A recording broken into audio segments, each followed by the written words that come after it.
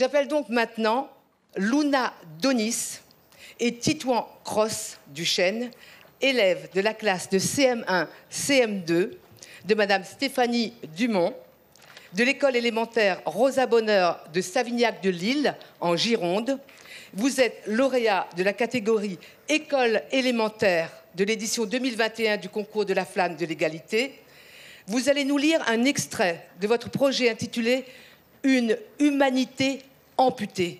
Ce projet consiste en un court métrage autour de la notion d'humanité.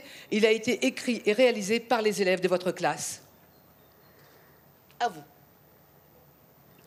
Chers anciens esclaves désormais libres, nous venons de découvrir ce qu'il vous est arrivé, ce que nos ancêtres vous ont fait.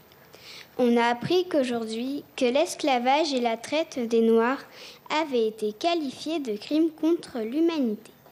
L'humanité, c'est nous, des hommes, des femmes, des enfants, des blancs, des noirs, des grands, des petits, des beaux, des laids, des gentils et des méchants. L'humanité a été déchirée par un crime commis contre vous. On vous a déraciné, arraché à votre maison. Mais ça fait plus de 170 ans que c'est fini. À quoi ça sert aujourd'hui de dire que c'est un crime contre l'humanité? Dans la cour, quand quelqu'un me fait mal, je vais le dire au maître et aux maîtresses. Celui ou celle qui m'a fait mal est fâché et il ou elle me présente des excuses. J'ai encore un peu mal, mais je ne suis pas en colère. Je crois que c'est pour ça qu'on a dit que c'était un crime contre l'humanité. Personne n'a puni ceux qui avaient fait du mal. Personne ne vous a dit pardon pour tous les coups de fouet. En disant que c'est un crime contre l'humanité, on vous dit pardon.